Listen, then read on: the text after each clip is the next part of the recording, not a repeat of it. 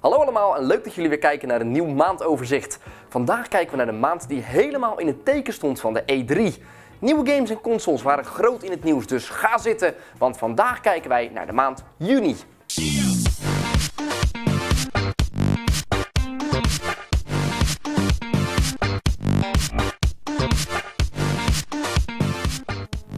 De topgame die in juni uitkwam was The Last of Us. Ook wij genoten erg van de avonturen van Joel en Ellie en beloonden de game met een hele mooie 9.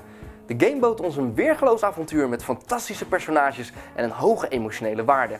We zagen wel enkele kleine minpunten als een abrupt einde en veel dezelfde vijanden graag door de vingers. Maar niet alleen The Last of Us was een geweldige game uit juni. Wat dacht je bijvoorbeeld van Animal Crossing New Leaf die er met een 8,5 vandoor ging? Ook Company of Heroes 2 scoorde erg goed. Het spel wist namelijk de oorlogssfeer goed op je over te brengen, bood heerlijke veldslagen en een grootse speelervaring. Genoeg reden om met een mooie 8 naar huis te gaan. Zoals net al gezegd stond juni in het teken van de E3. Dit zorgde ervoor dat er veel nieuws over nieuwe games en consoles naar buiten kwam. Qua games werden grote aankondigingen gedaan, zoals The Order 1886, en kwam er veel nieuws naar buiten over andere games. Zo konden we nu al voor het eerst het beroemde Levolution uit Battlefield 4 aanschouwen. Maar niet alleen games stonden deze maand groot in het nieuws. Zo kwam Microsoft onder de aandacht door het gedraai van de Xbox One. Lang bleven we in het duister over wat nou wel en niet verplicht zou zijn met de nieuwe console.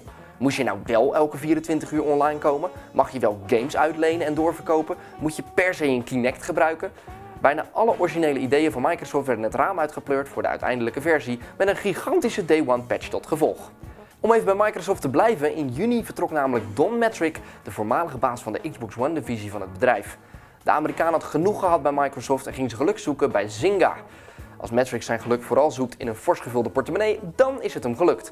Hij gaat namelijk in zijn eerste drie jaar bij het bedrijf 40 miljoen dollar opstrijken. Als laatste kwamen twee grote bedrijven in het nieuws met wat minder leuk nieuws. Zo werden Nintendo en Ubisoft allebei gehackt. Bij Ubisoft werden veel accountgegevens buitgemaakt, waardoor mensen nieuwe wachtwoorden mochten verzinnen. Bij Nintendo gebeurde vrijwel hetzelfde, alleen werden alleen de accountgegevens uit Japan gehackt. Om nog een keer terug te komen op de E3, natuurlijk was XGN daar ook aanwezig.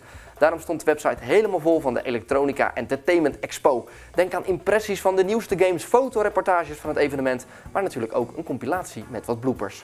Ja, welkom in Los Angeles. Een 10 uur durende vlucht achter de rug, maar we zijn er. Ja, je zult wel opvallen, we zijn iets vroeg. De E3 begint pas volgende week, maar er is genoeg te doen. We gaan nu eerst even een autootje huren, daarna naar het appartement. Dus volg ons en kijk wat wij allemaal meemaken.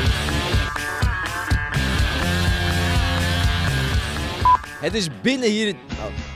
Het is binnen. Het is. Hè? Maar een van de leukste is natuurlijk de nieuwe Donkey Kong. En ik weet even niet hoe die heet. Dus ik ga dit gewoon even opnieuw doen. Dat is echt heel Oh. Godver... Vies... Toch gebeurde er nog genoeg naast de E3. Zo keken wij naar de feeën die later in 2013 in Pokémon X en Y zouden verschijnen. Hadden wij het geluk van State of Decay en ging Eke vast aan de slag met FIFA 14. Alle twijfels die Eke had na zijn speelsessie in Keulen werden weggenomen met de recensie, waar FIFA 14 een prachtige 8,5 scoorde. Ik ga nu aan de slag met het spel en ik ben heel erg benieuwd.